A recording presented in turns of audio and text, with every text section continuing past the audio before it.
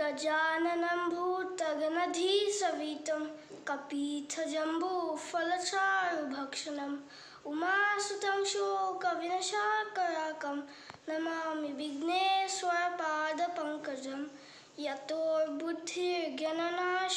मुक्षु यत सम्पादभक्तसन्तोषिकाशु यत विघ्ननाशो यत कार्य सिद्धि सततं गणेश नमो भजाम Happy Ganesh Chaturthi to everyone.